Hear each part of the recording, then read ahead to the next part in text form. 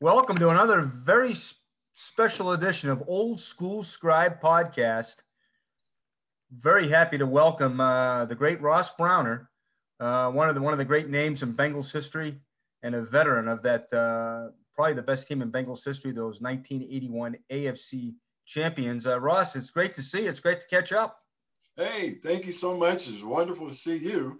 And uh, you know, it's just it's just great to be here. It's an honor to be on your program and be able to talk about those wonderful, well, our wonderful Cincinnati Bengals.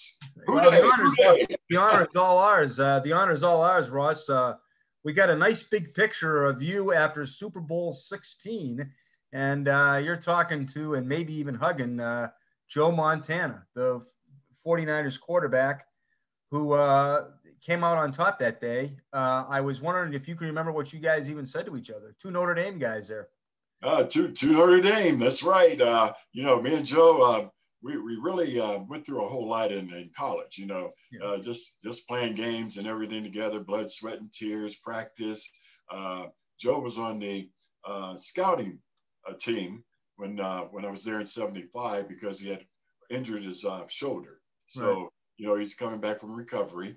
And I, you know, so I saw him a lot on the scout team and just knew his talents were just um, it's going to it's going to explode as soon as he get a chance to start and play for Notre Dame. I knew that he was going to get his uh, his chance one day. And uh, when that day came, I mean, Joe Montana just really uh, performed from that Purdue game that we brought him in the second half and brought us back because we were losing against Purdue that day, and we had lost both of our quarterbacks, uh, Rusty Lisch and uh, Forsythe. Mm-hmm. So they both went down, and we are down to like third team. And that's when uh, Coach Devine asked, he says, well, who do we put in? You know, he's asking the captains, and I was one of the captains. I said, we put in Joe Montana, coach. and uh, so uh, after that decision, after that, uh, we put him in, and he brought us back and won that game. I knew that we had a chance for the run of the national championship that year because of his leadership and his ability and his knowledge. And then moving on from there, you know, we won the uh, 77 uh, national championship against right. Texas. Right. And uh, that was a tremendous game. We beat them 34 to 10. And uh, Texas was 10 and 0. We were 9 and 1. Nobody thought we should have been there. And uh, we just proved that we were number one in the nation that year. And, uh, you know, being, being there and then, um, you know, this is a lot, a lot that went on, and we just were tight brothers and tight alumni and, and teammates. Right. So. Now you came to, you came to Cincinnati. You you came to Cincinnati after you guys won the national championship, right? That was uh, right. Correct. In 1978. Uh-huh. Right, right. in 77. And 78, I was drafted by the Bengals, number one, number eight. Right. And uh, I think Blair Bush was uh, in there as uh, uh, second uh, second uh, first rounder, right? The center from Washington, right. and Blair Bush came in with me, and uh, you know we just we just developed a team, and then in '80 uh, when we got well we went through two coaching uh, changes, right? And then um, you know we brought in Forrest Gregg from yeah. from Canada, and different attitude, Vince Lombardi all the way, you know rules and regulations and you know his training and getting us back in shape. And uh, that's when we changed our uniforms in 1980. Right. And uh, of course, you know, everybody was looking at us because we had a different design, different look in the NFL. So we were either going to be clowns of the NFL or we were going to be uh, respected by the NFL. So we were after respect after that job. so right. what made that defense go? That was a that was a heck of a defense, top top yeah. five defense. I mean, uh, you know, with Hank Bullough and uh, going to the three four. Because uh, yeah. I think you came in. I think uh, I guess you were there when they went through the switch, right? They, they... Uh, correct. Uh-huh. We were four three uh, right. before uh, Hank Bullough changed us to a three four and and Forrest Gregg. And you know we we're, we're not too happy about that because you know we're we're just changing up defenses right. all across the league, and mostly everybody knew you needed four linemen to go against five linemen, you know, right. offensive linemen, right. and three against five, you know, you, somebody's always going to be double teamed. And uh, that was my all my complaint at that time. And uh, when we started playing, and you know, we had Wilson Whitley, Eddie Edwards on the defensive line there. We we developed as the web and uh, formed that. And then when we put our change of uniforms, that's when the jungle started. Right. And, uh, you know, Who Dey. And, uh, you know, so that's when everything uh, really started happening uh, for us. You and Eddie, you and Eddie were Whitley were called the web, right? That uh, yes, the web. web. Uh-huh. And, you guys adjusted well. I mean, you guys adjusted. I know you didn't like it. Did you end yeah. up liking it? Oh, we end up loving it because you know we threw so many different schemes with it. Yeah. I didn't know a lot of schemes could come with it, but you know we had Roman line line you know linemen coming in and out of the game, so we can keep that three look, but a fourth lineman can come in and move inside, outside, and everything. And later on, it developed where Lawrence Taylor, who played with the uh, you know Giants, used that same formula with using a linebacker, but right. we use a, a defensive lineman. Right. And I was that defensive lineman the first year. And then after that, we used a couple of other defensive linemen. But, you know, my main position was right in. And that's where uh, Paul Brown said, You're going to be right in. And I said, Yes, sir. you know, it's no talking back to Paul. yeah, right. and, you know, uh, and being uh, drafted, uh, Paul even told me, he said, You know, Ross, he said, if you were around in that draft, I, I knew I was going to pick you because he had watched me from high school, college, and pro. And when I went to pro, he said, Hey, I didn't want to play against you, so I had to pick you. So that was just a real honor coming from him. Yeah. And uh, and from that point on, you know, this was a great relationship uh, with the uh, Bengals and the Browns, and we we started making some history. Yeah, well, I mean, it's like you were it's like you were bred to play in uh, for Paul Brown. Uh, uh, uh because yeah. Warren, Ohio, right? You came out of right, right out of Warren, Ohio, right? Right out Warren, Warren, Ohio, and he was uh, Massillon, you know, they, they won so many uh, state championships at Massillon before he went to the pros. And uh, so, you know, it was just a great honor that uh, uh Coach Paul Brown had told me something when I was in the All Star game in Ohio, you know, the big Ohio game that right. we all had, and the North and South. And he uh, came in the locker room and said, Hey, he said, what, what college are you going to? I said, Well, yes, sir. I said, Well, I'm going to Notre Dame. Yeah. He said, okay, I'm gonna watch you. I said, yeah, you know, I said, okay, I, you know, Paul Brown, he's gonna watch me, right? Okay, and I just kind of laughed, and uh, he did. He told me, he said, I watched you through college, and I, I, I knew you were a player because you yeah. know, coming from the north, you know, northeast up there in Ohio, you know, we played ball. You know, we, we really played, and you know, I was a northeastern Ohio lineman of the year up that way, and um, you know, it really, it really gave me a lot of honor and respect and, um, you know, I just wanted to say, hey, I'm so honored to play for Paul Brown and the Cincinnati Bengals. Did you? But in that picture, like you were saying, yeah, uh, with Joe and I, after that tremendous game that we played against each other, yeah. uh, you know, 20 to nothing, and to come back and right. say 21 to 26, we only allowed them six points in that second half. I think if um, we didn't have some turnovers in that game, yeah. it might have been a different turnout. But when I ran up to Joe, I said, Joe, we come a long way. And now you're world champion. And uh, we met. And I tell you what, you did a wonderful job. And it's an honor to play against you. Ross, like you said, though, you guys, you got, he did not do much against you guys. I mean, uh, he did not have great stats. I think, uh, think they ended up kicking four field goals, I think. And like you said, you gave him nothing in the second half. How did you guys shut him down? Well, um, you know, we just uh, pulled, pulled ourselves together that second half and uh, just said, hey, you know, if we stop making these turnovers, then we can make some progress. Yeah. And uh, I think Forrest Gregg really drilled that into us. He said, hey, you know, you guys are not playing bad. It's just that, you know, the score shows differently. So we have to just get out there and just play the way that we know how to play. And uh, so the defense pulled together and we rallied and, and we made things happen because Joe was using that West Coast offense. And, you know, that's a, two or three steps and the ball's out your hand. So it's really hard to sack a quarterback that is on time like that. Mm-hmm. And his receivers were right on time with their cuts and everything because they knew Joe and uh, where he's going to place the ball. And that's real important if you got a, a general like uh, quarterback like Joe Montana can put it there. And, uh, you know, that's what was happening to us a lot too. Did it help you that you went at, you know, that you went against the West Coast offense every day in practice? Uh, with Kenny running the thing? Did it?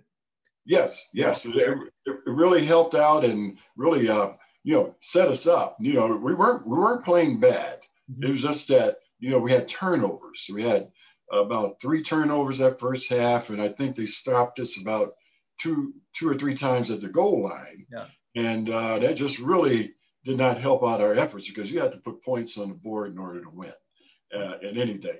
And uh, you know, in the second half, we were able to put the points up, but the, the clock beat us. Yeah, you had that great. Uh, you talk about the web. You also had really great linebackers. Reggie Williams, most prolific oh, Bengal oh, oh, Reggie, I mean, uh, oh man, unbelievable. You know, number 57 on my side, he was a right right uh, linebacker. Right. And Reg and I, we, we did a lot of calls that we used to do together. Mm-hmm. And, uh, you know, Jim LeClair in the middle. Yeah. I think we had Cameron. Right. Cameron was there. And uh, was it Bo? Bo out there. Um, let's see, uh, who else we had out on the other end? I think it was, um, oh gosh, was it Leopold? No. You had some great corners too. I mean, you know, yeah, great. Oh, oh, oh yeah, Ken, Ken Riley. Oh, Ken and, Riley and Breeden and, uh, and Louis Breeden and uh, you know we, we just really had some great defensive backs that could cover. You know, yeah, and right. once we went on that one and one coverage, you know, it helped helped us out with uh, keeping those uh, receivers from getting open for Joe too. Yeah, right, right. The uh, is there any one game you know besides the Super Bowl? Obviously, that was big. I, I remember Kenny Anderson saying he knew it was big when he saw Diana Ross singing the national anthem. Oh yeah, Diana. Ooh. that was a. Spe- I mean, obviously the uh, it was the first. I believe it was the first indoor Super Bowl. How was the atmosphere? What was the atmosphere like? Oh man, I tell you what, uh, it's nothing like the Super Bowl. Yeah. Uh, you know, you got cameras flashing, you got cameras. Uh, you know, uh, I mean, people watching all over the world watching this game, and then the fans, uh, tremendous bingo fans that showed up and really supported us. And, you know, it just, it just was a wonderful crowd. Um, I think everybody enjoyed the game because it was very challenging and it was uh, entertaining. At the same time, it was a good push for, uh, you know, the world championship. So, you know, it was really a great, great, great, great um, experience. You, do you remember uh, what, uh, I guess, besides the Freezer Bowl, is there any other game uh, before the Super Bowl that sticks out from that season for you? Uh, let's see. Um, well, I, I, know it was a freezer, uh, the Freezer Bowl, but you know, uh, San Diego, where we played San Diego for the uh, championship, the AFC championship, in order to go to the Super Bowl, yeah. and uh, we had that. Ooh, that was you know that was the Freezer Bowl, yeah. and um, before that, you know, we we really, uh, you know, felt felt really good once we had that bye week, and then we got into the title, uh, the, you know, the wild card and all that type of thing, what they're running through right now. And right. Um, you know, but during that season, I think really what showed us that we could possibly be the champs was because we beat the Pittsburgh Steelers twice. and that's hey, Geoff, that, that and that's the thing, you know, that's that's telling you what kind of team you have. Right. You can beat uh in our conference was the Houston Oilers and uh, you know, Pittsburgh Steelers and definitely the Browns. So if we can get out of the conference that type of way, then we knew we had a chance. You guys clinched the if I'm not mistaken, you guys clinched the division in Pittsburgh. Oh yes, yes, yeah. correct. Right. Uh-huh.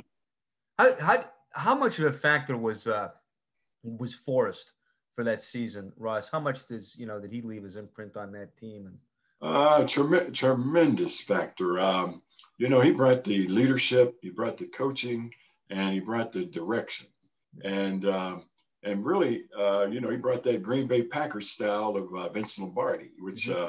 You know I've always honored and won the Vince Lombardi Award. So you know, I was I was underneath that that type of realm with him too, because he had played for such a wonderful and great coach. Um, but he brought that with his ethics. I mean, he really said, hey, in order for us to be a team, we have to play united. We have to love each other and, you know, we have to play for each other. And I think that's one thing that really draws the team all together. And then he said, you got to play hard. You know, every, every, play every down, every inch, you know, we have to work for. So he showed us how to work for what we wanted to get. See, the Freezer Bowl couldn't have been too bad for a guy from uh, Northeast Ohio. That, uh, oh, that couldn't have been too bad, was it? hey, hey, I, you know, I was living in Atlanta in the off season, so you know, I, I got that Southern blood in me too. And uh, you know, hey, it was cold. I tell you what, you know, one thing we got some good advice to us from our doctors and and our trainers to put Vaseline on all uh, skin exposed areas, mm-hmm. and um, that, that's your ears and yeah. your face and your eyes, your mouth, everything had to be greased down with uh, Vaseline. And um, and then we had our our diver gloves on, you know, in order to put our hands on the ground because it was so cold. Yeah. diver gloves to put on, and then we didn't put on anything like uh, you know the extra uh, uh, thermal wear. You right. know, we just put on normal thermal wear so we can move around and stay quick. And when we showed our arms and everything, and uh, you know, of course, San Diego thought we were crazy. They said, "Oh, these guys are crazy. Don't they know it's cold out here?" He yeah. said, "Hey, after the game, you know, it's, it's going to be after the game, but we got to play this game right now. So we had to be fast, quick, and we knew they had a, a dynamic uh, type of passing game because we played them before. Yeah. we played them on their turf, and you know, we that's the most points scored in a Monday night game, I think, yeah, still to this day. Right. Uh, but you know, hey, uh, we knew that uh, his receivers are great, and Fouts was like uh, unbelievable quarterback. Yeah, he could throw that ball, so we had to put the pressure on. Right. You know what's amazing is is is how well uh, Kenny threw it and Fouts didn't. It's a, it's amazing how uh, I mean he just I, I remember talking to Anthony about this how when you saw Kenny throw it was just like it was like a regular day almost. Yes, yes. Yeah. That's because we were practicing that uh-huh. every every day. Right. And it made us accustomed to it. So, you know, when you when you're practicing something, uh, you know, you really get used to the elements and how to play in those elements. And, you know, that's one thing about football, you know, you had to play in all the elements that you're uh, confronted with and still be able to play your game. You know, was the web able, you know, were you able to uh, dig in and uh, rush or, or was that tough to do because of the, because of the turf? Well, one, one thing about it, you know, we, we did dig in and we, we got pressure and we got, um, you know, a lot of, uh, you know, well, one thing about it, we wanted to dominate the line and that's what we did. Um, we just really went after them, went after them strong and um, you know we just kept pushing them and kept pushing them and and the whole game you know we just never gave up that we we can control that line of scrimmage yeah. the amazing thing we talked about this the other day ross is just uh you are you've got and this this is probably unheard of in pro football history is you got three brothers that played in the league you're one of four brothers that played in the league you got a nephew that played in the league and you got a yeah. son who, and you got a son who played in the league Yes. That, that's uh, that's quite that's amazing. well, I tell you what, I'm, I'm I'm just so honored and so proud that you know my brothers followed me, right. and um, you know, and then my son followed me, and then of course you know the nephews. Right. I, I think uh, we have some younger ones that are trying to play right now, so they're the young, they're, but they're trying to play the, the game of football. And uh, but you know, one thing about it, it was just good to see that you know uh, being a leader, you know, you always like to see that you're doing the right things for your family. And uh, just proving that, you know, everybody paid attention and uh, and they wanted to do the same thing. So I was really honored by that. What was it? What was it like growing up in that house with uh, four guys? four guys that ended up playing. I mean, you know, it's uh, yeah. We had six six brothers, um, yeah. and uh, you know, all six of us played all the sports, yeah. uh, and uh, also picked up you know, uh, karate. Uh, three of my brothers played uh, did really well in karate, mm-hmm. and uh, and then I was the only boxer. okay. yeah. So you know, but we we had this. My uh, my mother and father bought this lot on the side of the house, yeah. and we cleared it, and that's where we played all our games with the neighborhood. Uh, uh, brothers and sisters that come in, you know, even the girls played with us. You know, yeah. we played football, baseball, kickball. I mean, any kind of ball you can think of. Yeah. We played in that, that corner lot. And uh, what did your, so your dad do for a living, Ross? What did your dad do for a living? Well, my dad worked in a steel mill. Uh-huh. And, um, you know, Republic Steel, and it was one of the biggest uh, steel mills in the city. So that's what he uh, he worked night turn mostly, mm-hmm. and um, so he got a, a, lot of chances just to listen to the game on the radio. Right. And uh, so, you know, I was really excited about that. And, you know, when I got to when I decided on what college I wanted to go to, I wanted to make sure he was going to be able to see me on TV. So that's the reason why I chose Notre Dame mm-hmm. because they're on TV on Sundays with uh, Lindsey Nelson okay. every Sunday. And that's where I, I really got introduced to Notre Dame football uh, every Sunday. So I just said, well, I know they're going to be on TV and I know the family be watching it every Sunday. Yeah. So, yeah, I said, well, yeah, I, I just have to pick a, a team that's going to be on TV more, and that, and they were on TV more than anybody else at that time. Yeah. Well, that's the reason why I chose Notre Dame. And, and your brother followed you, right? Joey followed you to Notre uh, Dame, right? Well, well, Joey went to USC. Oh, he did. Okay, all right. So. Yeah, and Keith. Uh, those are my younger three, and uh-huh. Keith Browner, he went to uh, USC, but Jimmy, who's right underneath me, he came uh, to uh, Notre Dame, and then Willard, Willard, my brother, uh, right under Jeremy. Uh, so we had three brothers at Notre Dame at one time. Mm-hmm. And then when we got to the pros, Jim was with me with uh, Cincinnati right. his first year. Yeah. And first and only year that he played in, uh, in the NFL, and it was the Cincinnati Bengals. Mm-hmm. Was it a lot of competition with you guys uh, when you were growing up? I mean, was it, uh, or what was that? Or did you just, did you guys? Oh, oh, well, it wasn't competition. It was just like being proud of everything that they achieved. And, uh, you know, so a lot of times, you know, the older three, you know, we were playing at the same time, either football, baseball, basketball, or whatever, you know, at the same time, and in track. I, I was more of a trackster too. Mm-hmm. And uh, so we, we, we ran track and we just did everything all together and we did it together as a, as a family and, and as brothers. Did boxing help you as a, you know, to play football? Is, is oh, it, oh, oh yeah. Pick it up? Or? Oh well, you know, it, it, it, helped me even at home in the street. You know, because I was the oldest boy, so yeah. I had to kind of, you know, protect my family, yeah. and uh, so we didn't want nobody bullying us. Right. And so I, I, had to learn how to box. So I learned how to box from really my uh, neighbors, my older older neighbors that were around us. And I told him I had to learn how to box. So he taught me how to box. Yeah. And I said I had to protect myself in order to protect my brothers and yeah. sisters. Yeah. Mm-hmm. So it started. Did you get bullied? Did, did you get bullied when you were a kid? Well, not that much, not that yeah. much, but you know, we did have some bullies on the playground. Yeah. I was gonna say, I was gonna say, you're a pretty big guy, Ross. Those guys must have had, yeah. their, had to have right. their heads examined. I, I well, well uh, there, there were some pretty good guys, uh, size guys back then too.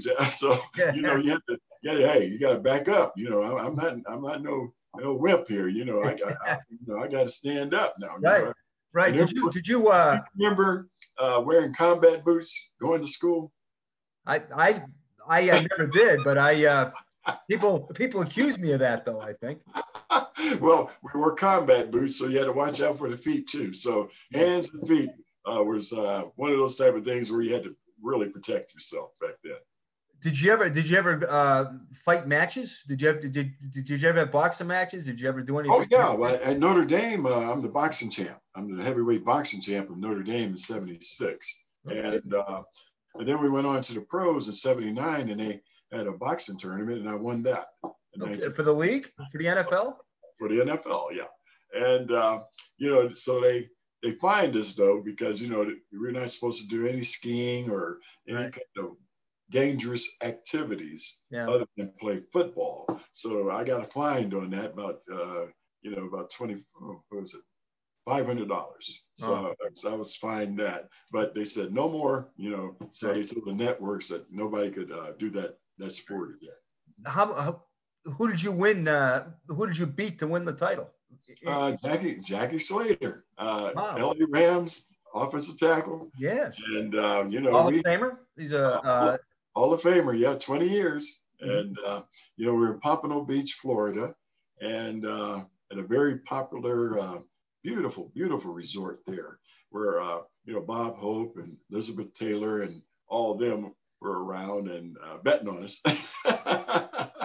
so yeah, we, we had a lot of NFL ball players that was in that uh, that whole tournament. Yeah, and that was what did you say? That was seventy nine, Ross. Uh, Nineteen seventy nine. Yes. Did any of the celebrities come up to you and say, "Hey, I'm I got my money on you"? Uh, well, I had a co- had a couple of guys uh, approach me like that and told me that, "Hey, you re- we got our eyes on you, so yeah. go ahead." You know, we're in the, the locker room, and you know, cooling out, you know, after some matches and all that. He said, yeah. I, I, got, got my eyes on you. You're looking good. I said, okay, well, thank you so much, sir. Anybody that we would recognize? Any uh, celebs well, we would recognize? Well, you know, I, I, it's a it's a private resort, so you know, I, I can't I can't dispose or anybody's name out.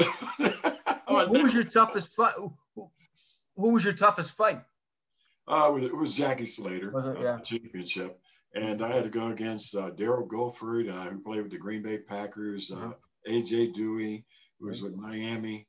Right. Um, and, you know, I had about like three, I think who else was the other, I can't remember right now, but, you know, we had three and then we had the championship. Yeah. Did you use it to train? You know, would you train in the off season doing that? Because that's. Oh, yeah. Yes, yes. It's uh, best training uh, possible because I did it in college uh, for training. And, you know, jumping rope, speed, uh, speed, uh, you know, speed, speed, you know, speed box, uh, heavy bag, all that quickness with your hands and feet. And, um, you know, it just really, really helped me out with uh, playing, playing the sport of football and, and being on a defensive line, using your hands and your feet, uh, really, really played an important part. Yes. You kind of ahead of your time, uh, Ross. I mean, a lot of guys do that now. I mean, that was, uh, but I bet a lot of guys weren't doing that back then. Right, right. Um, you know, but you know, it's uh, it's almost like you know, after I won that, you know, they, they had talked. Remember, Too Tall, right? Paul Jones. He, he right. went into professional boxing, and they wanted to see if we can get a match down in New Orleans. Uh-huh. And that's when uh, the Bengals stepped in and said, "No, we can't. We can't do any more boxing." Yeah. Said, okay. All right. Yes, sir. Uh, yeah. Yeah. Paul, Paul I, I, won't box anymore. Okay. yeah. Can't imagine Paul would have been keen on that.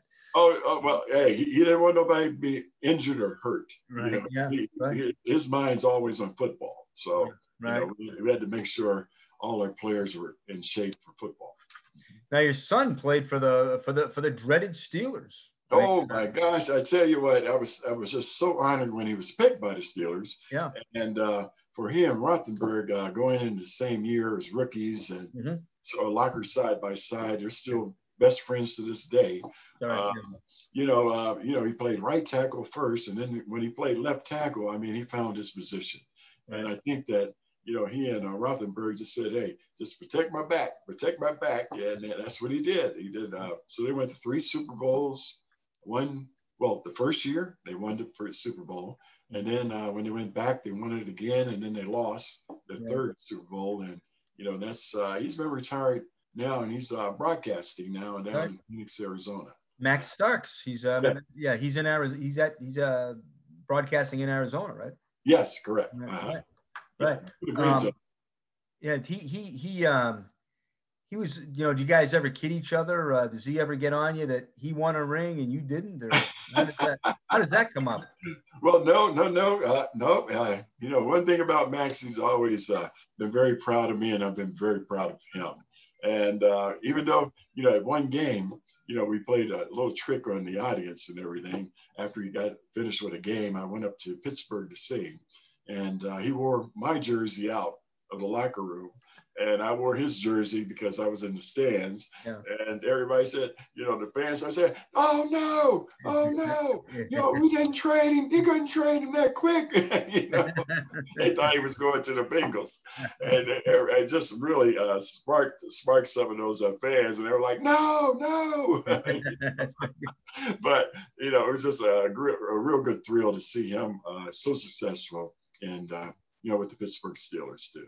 Yeah, it's a great uh, it's a great story. You and him. I mean, you guys didn't really hook up until late in life, right? Yeah, yeah. When he turned 16, uh, that's when I found out that uh, his mother uh, let me know that you know that was my son. Yeah. And from that point on, you know, after meeting the family, and I think he went down to the University of Georgia for a summer camp, right. and I was living in Atlanta, Georgia, so drove over and met him and and just I just said I, I was looking at a mirror, you know. Yeah, right.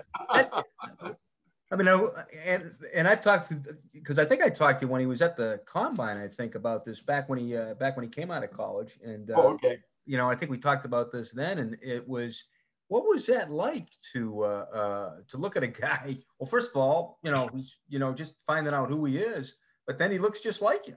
Yeah, yeah, and six eight, right, right, and three hundred and forty pounds. And uh, you know, when he went to college at the University of Florida, you know, I, I, did, you know, go down a couple of games and check him out down there with the Gators. Yeah. Um, so I, I, followed his career after that. After 16, after you know, after being 16, I followed him through college and and then the pros also. Yeah. yeah. Did you give him any advice? I mean, what was the thing you wanted to give him advice about? I mean. Uh... Oh, I just told him, you know, um, just be yourself and uh, just go out there and just be the best football player that you can possibly be and be the best person that you can possibly be to your fans and to your, you know, your family and then plus to your city that you're playing for. Right.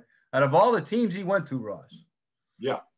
Out of all the teams he went to, he went to the Steelers. Yes. hey, but you know, it, uh, God, God, God has His purpose, and uh, that purpose was, you know, He put him with a wonderful organization that was, um, on, you know, building uh, a dynasty, and uh, he was part of that dynasty, and I'm so proud of it. Yes. Ross, what do you remember most about your career in Cincinnati? What sticks out? Are, are there certain teammates that stick out, certain seasons, or, um, or? you know, the, the, whole the whole uh, pro experience was just uh, a delight, uh, something that uh, you know, childhood dream, you know, uh, coming true, and uh, being able to play and play for the Cincinnati fans and being in the state of Ohio still, you know, it was very very honoring because you know I, I really uh, thought that the Cleveland Browns might have picked me, but the. Cincinnati Bengals picked me, so that was even better. Um, so you know, but you know, I had some wonderful friends, wonderful teammates, uh, Isaac Curtis, uh, Pete Johnson, Archie Griffin. I mean, just to name a few. Uh, you know, um, you know, uh, Anthony Munoz. I mean, we all just gelled together and made a team and made a brotherhood that we can always be proud of when we look back and say that we we did accomplish some some great things right there in Cincinnati. Yeah. What are you doing now, Ross? Oh well, uh, president of the NFLPA. Mm-hmm. Uh, so I'm looking at pensions and benefits right. and just making sure that you know the NFL and and everybody's uh, doing things for the retired players, right. uh, the former players of the league, and just to make sure that we you know we have um, you know benefits and everything after we retire from football, and to make sure that uh, we take care of our families and be you know be happy and be happy with our sport of football and still promote that a whole lot. Try to teach the young uh, you know young kids in the community and the area with football camps and uh, to make sure that our skills and our sport stays alive. Yeah. I mean that's a big time job. I mean that's a probably don't have a lot of free time. That's a big uh, yeah big job for a guy that's retired. Oh yeah, it's supposed to be retired. Yeah. but then, you know, hey, you know, one thing about it, when you try to sit down and they say, "Hey, come on," and you just get right back up and say, "Okay, let's do this." And uh, golf, golf is another thing I love to play. And uh, so, you know, I've been going to, I've been going to a lot of golf tournaments and everything. I used to produce golf tournaments down in Atlanta, Georgia, mm-hmm. uh, where I was president of the NFL chapter down there, and we uh, had a Super Bowl Super Bowl golf tournament, which was very successful in Atlanta. But you know, we had an ice storm right. down there at that time, right. and um, you know, it was just 1970s, uh, right, 1996. Mm-hmm. So you know, it was that uh, wonderful. Uh, it was right there in Atlanta, Georgia, and we were just so honored to have uh, Olympics there, and we were the NFL representative and everything down that way. Right. What uh, Ross? What? How are you? Uh, you know, what's your handicap? What are you playing at? How often do you play? And uh... oh well, well as as much as I can. And the handicap, uh, you know, I'm out there to have fun. big hitter, I bet. Hey, but we, hitter though, I bet. But but we but we've won. I've won a couple of tournaments and everything. But you know, I'm always with a group of good, uh, great guys uh, that we play along with the corporations and, uh, you know, so when I put in my putt or put in my drive or put in an eagle or something like that, it, it really contributes to the team. So I'm really honored about that. One last thing. Did you, when you were, uh, went into the draft, did you hope that you would stay in Ohio? Did you, did you hope the Bengals would draft you or how did you, uh, well, how did you see it? Well, you know what, Geoff, um, I think, uh, you know, Kansas City was really looking at me you know, because they were looking for a defensive lineman. I think they went for Art Still that year. Mm-hmm. And uh, so they went for Art. And I said, okay, well, who's the next in line? And I think the next in line was something like, um, let me see, the New York, uh, I think San Francisco, they were either going to go offense or defense. I had a couple of teams that were going offense or defense, so I didn't know if they were going defense or not. Mm-hmm. And then when the Bengals came up and they said, "Hey, we're going defense," and I was just, I said, "Hey, I'll go, I'll go." Yeah. And plus, it was Ohio, so I was very honored. Yeah. Who gave you the call? You remember who you talked to when they uh, told you that uh, you were drafted? It was it was so funny that you know I was in a, a test with economics. Uh, you know, I, I, I I graduated economics degree in arts and letter. And, uh, you know, so when I was getting out of my test, uh, one of my uh, teammates ran up to me, uh, Kris Haines, he was a wide receiver for us. And he said, Ross, Ross, did you hear? I said, hear what? Hear what? You know, uh, I'm just coming out of class. He said, well, hurry up to your room. Hurry up to your room. You're getting a call from Cincinnati. I said, Cincinnati? I said, oh, really? Okay, well, that's I hurried up to the room. And that's when I got on the phone with Paul Brown. And he said, we have now selected you as our number one uh, draft choice pick, and we'd like for you to come to Cincinnati tomorrow. I said, yes, sir. I'll be right on that plane and be more than happy to meet you. Well, we're glad they made the call. Uh, we're glad they made the call, Ross. For, uh, I, was too. Very, very happy.